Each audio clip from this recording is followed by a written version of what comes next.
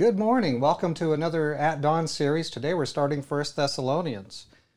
So here Paul writes to this faithful congregation that he raised up in the city of Thessalonica.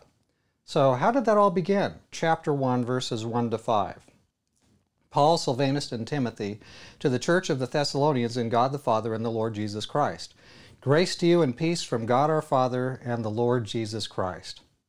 We give thanks to God always for you, all making mention of you in our prayers, remembering without ceasing your work of faith, labor of love, and patience of hope in our Lord Jesus Christ in the sight of our God and Father. Knowing, beloved brethren, your election by God. For our gospel did not come to you in word only, but also in power, and in the Holy Spirit, and in much assurance, as you know what kind of men we were among you for your sake. So we're going to be exploring a different kind of book we just finished the Gospel of Mark, and that's pretty much narrative. Today we're looking at an epistle. So what is an epistle? It's a little bit of a different kind of thing than, than the Gospel. This is going to be uh, kind of, it's a letter format, but it's not just a regular letter. It's kind of a letter written with a certain, uh, usually a certain order. Things happen in the letter. And it's also written more like a, I guess you could call it a circular letter. It's written from Paul to, in this case, the church in Thessalonica, but it's also written to be read, to be passed around and read in the different churches. Usually an epistle has uh, an opening greeting, and then it'll be, giving thanks or, or, kind of some introductory ice-breaking talk here, but it's not just random, uh, useless um, kinds of icebreaker. He's bringing up different things that have happened in the past. He's, he's kind of building up. Then there will be a main section, uh, main doctrinal section, which is usually the main reason the letter is written. And then at the end, you'll often have practical application, and then there will be a bunch of greetings that uh, to particular people in the congregation that he's sending it to. So this epistle follows that kind of basic plan.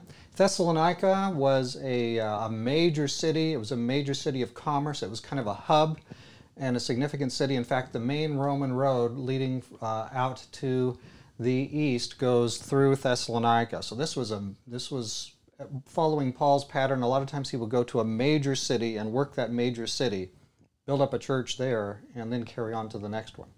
We think this might be around the year 52 AD. If you look at verses 3 and a little bit in 4 and 5, you see kind of the things that Paul is, is bringing to the front here. Uh, this is a group that uh, has active, active faith.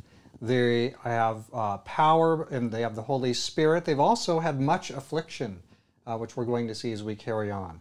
And yet, uh, God has been active, and this church has grown from nothing. This has grown and become a significant church in the early Christian church. I want to draw your attention especially to what it says in verse 5 again.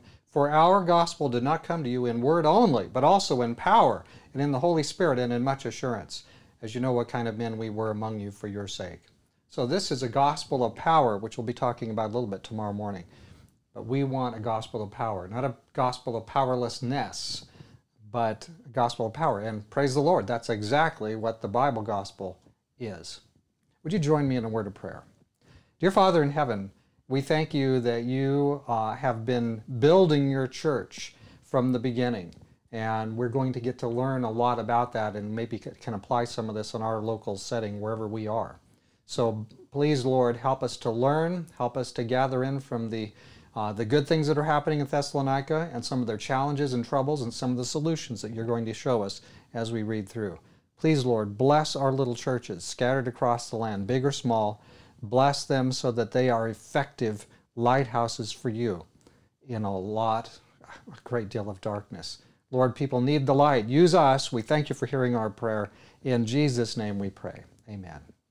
Hey, don't forget to subscribe to this channel. It'll help raise the videos in the search ranking, and we want more people to hear about the Lord Jesus through these videos. You know what to do. How is the local church where you're a member? How does it compare to the Thessalonian church? How can it be more like it in the good ways? Give it some thought and prayer. See you tomorrow morning. God be with you.